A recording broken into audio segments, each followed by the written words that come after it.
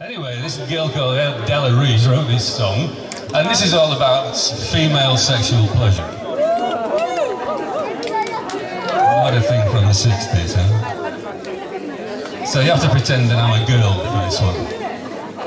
I'm quite happy being.